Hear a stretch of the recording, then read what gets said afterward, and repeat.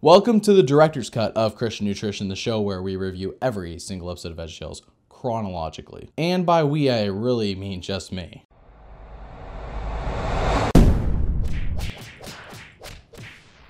Minnesota Cuke and the Search for Samson's Hairbrush actually released in June of 2005, and is that a coincidence? Because Raiders of the Lost Ark, which this is parodying, came out in June of 1981, albeit that is a 24 year difference, but they're both in June. Not sure if that was an accident or not. I'm actually excited for this episode. I am a huge Indiana Jones fan, despite what all these posters might imply differently. Indiana Jones is my second favorite movie series after Back to the Future. Let's review Minnesota Cuke and The Search for Sam's Hairbrush. We got a letter from Caleb Whittier in Broken Arrow, Oklahoma. Bob, Yeah? how come you always get the letter? Good question. How in 12 years has Larry not received a letter and been the one to read it? What if somebody wrote a letter to me? Well, I guess if you got a letter, you could read it. Um, but this letter says, "De- Great. Dear Larry, Oh, wait a minute, Larry. I don't mean to be rude, but Caleb here has a problem, and I was all prepared to do a story to help. well, little Eli has a question too. Are these questions related to each other or. There's a bully in his school, and a bully? yeah, you know, a kid that's real mean to all the other kids. I know what a bully is, Larry. Then why'd you ask? Good point, Larry. Why did you ask, Bob? Caleb wrote about the same thing. Wow, that's one busy bully. Well, it's not the same bully. How do you know? Yeah, how do you know, Bob? This bully could be a world traveler. What, do you read minds? Do you know this isn't the same bully? Well, Larry, it's just highly improbable, statistically speaking, that one bully is bothering two kids 500 miles apart. Oh, no need to get up in arms, Bob. Larry was just stating that it's possible that this is the same bully and that you shouldn't rule that out. Bob, instead of talking about this, wouldn't it be a better idea to answer the question? Point, set, match. Larry wins. Give him the win for actually using logic in this episode. Junior gets bullied here? Now, don't be wrong, in the past, this would have been like a godsend, like a Christmas gift. However, I'm kind of over not liking Junior. He's gotten a lot better in time. So, hopefully, Junior doesn't get bullied? For this is Sherwood, and I'm Robin Hood with my bow and my trusty arrow. back to back episodes where characters have either looked or been Robin Hood. Big Idea really wants to get Robin Hood out of the systems. They need to get Robin Hood out of their systems. Or maybe they're just obsessed with the idea of their VeggieTales and tights. Veggies and tights. We're men, we're men in tights. We roam around the forest looking for fights.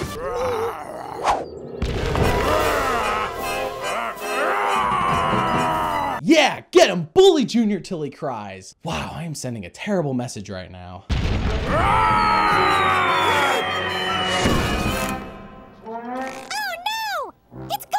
Junior's toast! Wait, it was all just a dream or it was just Junior's imagination? From now on, no one is allowed to play here unless I say so. You got it? Sure, I've got it. And that goes for all of yous. This entire conundrum, I realized, could have been solved by simply having an adult show up and tell this kid to buzz off, that this is a public playground.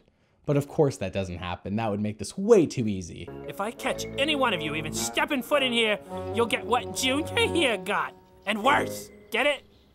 So get out of here! Someone knock this guy's lights out for me. I don't even like him. And I don't care if Junior gets bullied. That says how much I don't like him. Before I pound on all of yous. Have you ever been pounded? A cousin of mine was.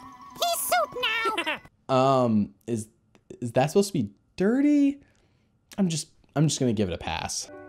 Want me to tell your mom or dad? No, I'm fine. There's nothing to tell.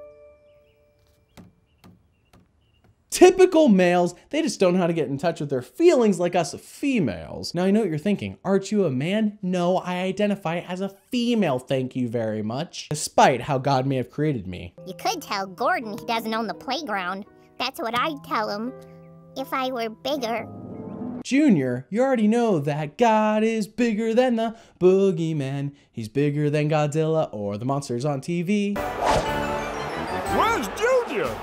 Without my star player, we haven't got a prayer. This is clearly a dream sequence. Junior is the worst athlete in this entire show. I would draft him dead last, especially for a sport like football.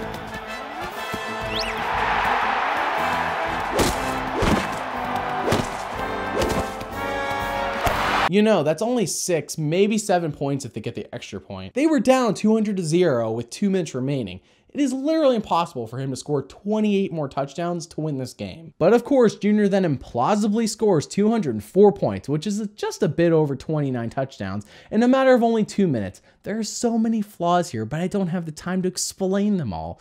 Junior snaps out of his dream to see Laura calling out for him. All the ladies must love Junior. That's now two different women who have come to talk to him and care about him, probably because Junior has a tendency to.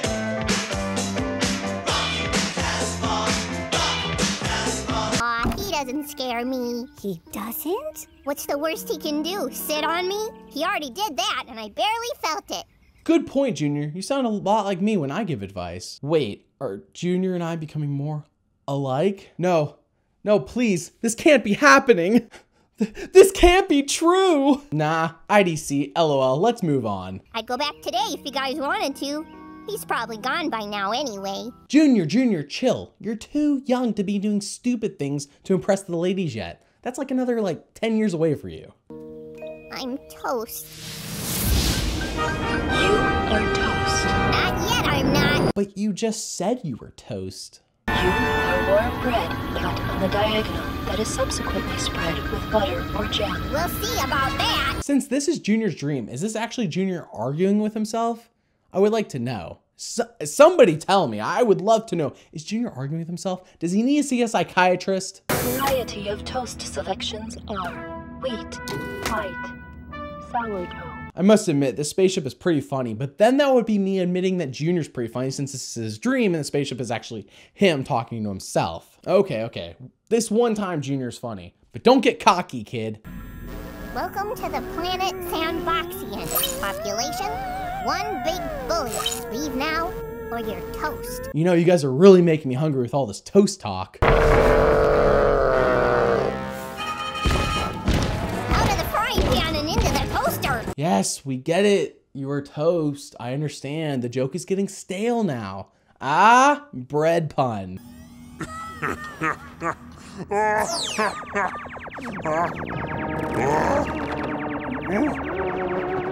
Is Junior actually winning a fight? Is the world coming to its cold and bitter end?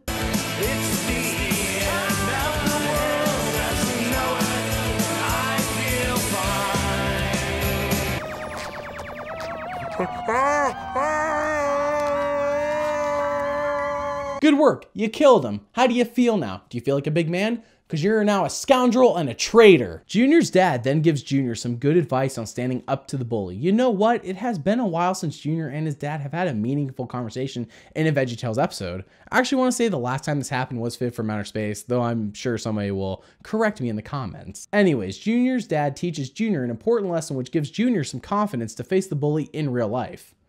Why, if it isn't Junior and his pee-wee friends? What did you do? Come back for a second helping of pounding? Can we not use any other word? I f- like is beating too vulgar of a word? Is pounding really the only word that's an option for this situation? Gordon, no one owns this playground. It's big enough for all of us to share. You know what I think? I think I'm going to enjoy beating the living daylights out of you every day. In earlier episodes, as I stated before, I would have looked forward to this. But now I'm rooting for Junior. I'm his number not number one fan, that's for sure. Then you'll have to beat me up too. And me. And me. And me too. Two girls and a couple of peas plus Junior is not that intimidating. I, he should be able to beat them all up easily. Ah, this is lame. I don't even like this lousy old playground. I- I'm going home to play video games. Well, that was anticlimactic. Lame! What next? And now it's time for Silly Songs with Larry, the part of the show where Larry comes out and sings a silly song. The real question is will this be a classic or will this be a clunker, since most of the recent silly songs have all been forgettable clunkers? So I phoned in a pizza for delivery. But I had a feeling that something wasn't right, because I waited for hours and no pizza. Pizza angel, please come to me. Tomato sauce it's a classic. I need more. Pizza Angel. Did it get lost? Did they just forget? Should I have ordered on the internet? Pizza Angel, I'm on my knees. And don't forget to add my favorite anchovies. This song will go down as a classic. Thank the Lord. It's been so long, it feels like, since the last one. Though the song does remind me a bit of that other song from Back to the Future. Earth angel, earth angel, will you be mine? I'll never forget you, Pizza Angel.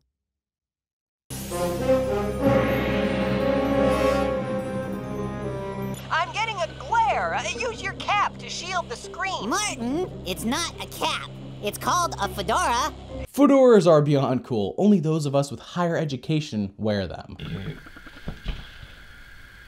Like that.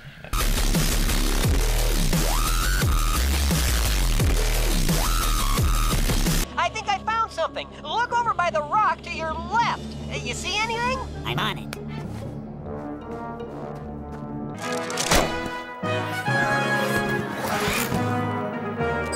I got it, Marty. No worries. You spoke too soon. Have you never seen Raiders of the Lost Ark, Larry?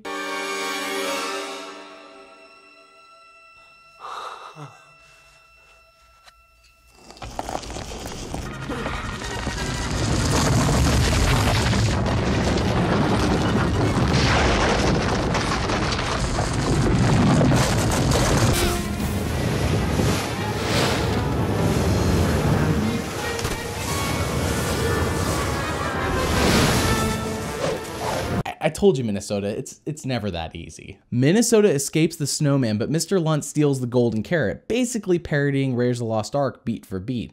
Mr. Lunt has been stealing from Minnesota since he was a young cucumber. A scallion comes by in need of help since the Canadians are trying to take both sides of Niagara Falls. Typical Canadians, this is why we need to build a wall on the Canadian border. Brave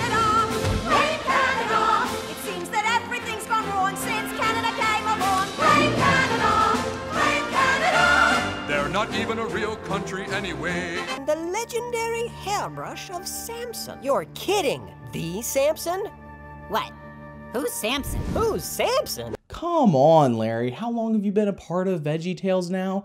Like 10 years? 12 years? You think you would have heard of Samson by now. Samson was none other than the strong man in the Bible. God used him to fight against the Philistines who were bullying the Israelites. A strong man that fought bullies, huh? That is until a seductress came along and cut Samson's hair, really killing him of his strength. Apparently, the Canadians believe that the hairbrush was the real source of Samson's power. Minnesota thinks that if he gets the hairbrush, then he'll be able to stop Mr. Lunt from taking his discoveries from him in the future. I'm going out for ice cream.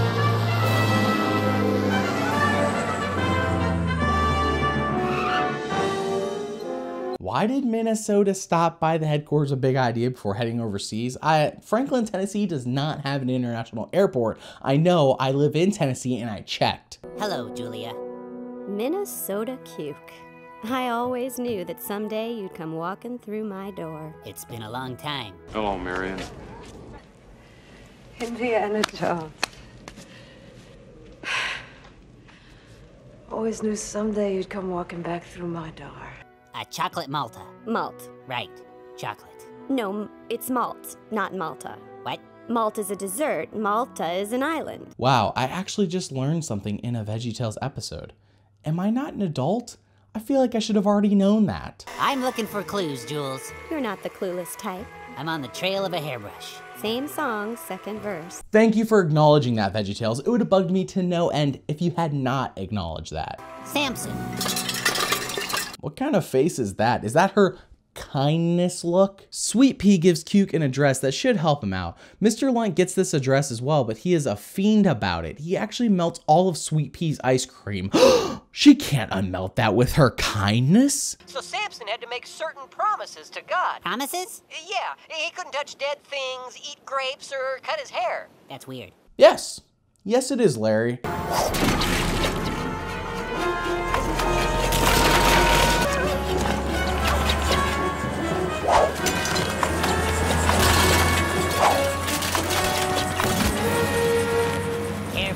For? That was so stupid, but in the best way possible, like Wayne's World. Where are you going?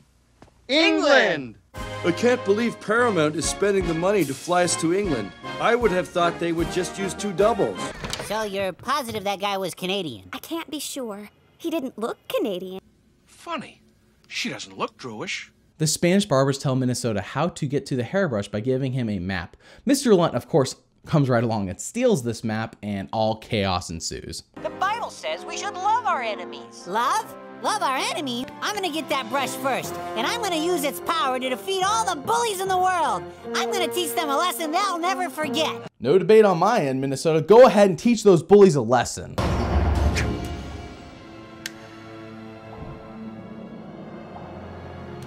This reminds me a lot of the Rumor Weed episode. You should check that out if you haven't already, where Larry Boy goes underground and then fights the Rumor Weed and doesn't actually end up defeating Rumor Weed in the end. It was just a huge, massive disappointment like Vivint from Outer Space.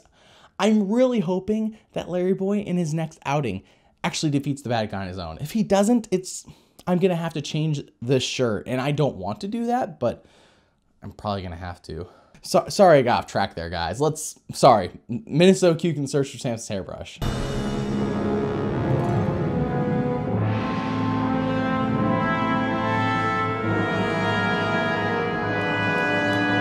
This better be an epic adventure action sequence because if it isn't, I'm going to be disappointed. Who creates areas like this with like a ring of ground in a cave, but like who dug out all the empty area and then put a bridge and then there's like just one like who makes these areas? Who hires them to make them? I don't know. So many questions and no answers. Ah! Ah! Ah! Worms. Why did it have to be worms? Snakes. Why did it have to be snakes? Samson's hairbrush. Congratulations, Mr. Cuke. I think Mr. Lunt may be a professional troll in this episode. What's wrong? You have no hair. What? You have no power because you have no hair. Yeah, dude, you've known this for 10 years now. Why do you need a hairbrush? You don't have any hair. I won't give it to you, or the Canadians, or anybody. It's mine. Oh, but I think you will. Puke. No, not Sweet Pea. She is so uh, kind. She's just so kind. Trade.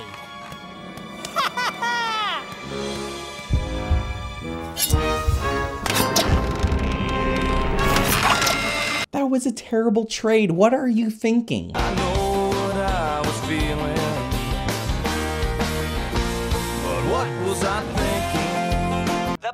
Doesn't have any power. But the Bible said that Samson's hair was his. The Bible said that God gave Samson his power, not his hair or his hairbrush. So this whole episode was a waste of time and a wash then? Samson lost his strength because he didn't keep his promise to God. And the best part is that God gives us strength too. He gives us an even greater power than Samson's the power to love our enemies. I think a lot of us would rather have super strength, except for the Hulk. He is constantly trying to lose his powers.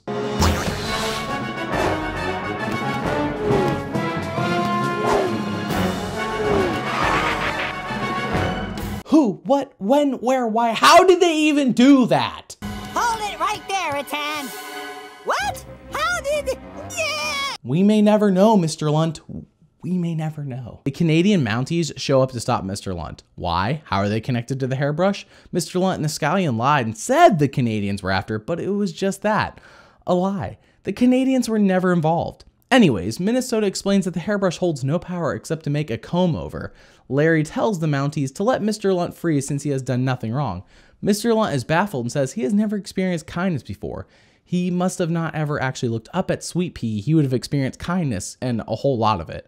Mr. Lunt apologizes and Sweet Pea does some more flirting with Minnesota when suddenly. Think you can find Noah's umbrella? Where's my cap? It's called a fedora. I'm on my way. Why did Noah need an umbrella? Anyways, we won't find out till 2009, and hopefully this sequel will be more like Last Crusade and less like Temple of Doom. Well, we're over here by QWERTY to talk about what we learned today. And so what we have learned applies to our lives today. God has a lot to say in his book. You know, some episodes Bob likes the song and then some episodes he doesn't. Just just make up your mind already. I'm getting confused, Bob. But I tell you, love your enemies and pray for those who persecute you. Matthew 5:44. God made you special. And he loves you very much. Goodbye. Goodbye.